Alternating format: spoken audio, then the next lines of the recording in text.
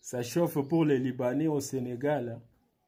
Interdiction formelle à toute femme libanaise de mettre au monde sur le sol sénégalais, comme il est interdit à toute femme africaine ou toute fille africaine de mettre au monde sur le sol libanais.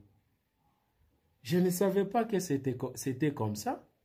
Donc eux pouvaient mettre au monde ici chez nous en Afrique, engrosser nos sœurs comme ils le veulent. Et nos sœurs, nos mamans, elles n'ont pas le droit de mettre au monde là chez eux.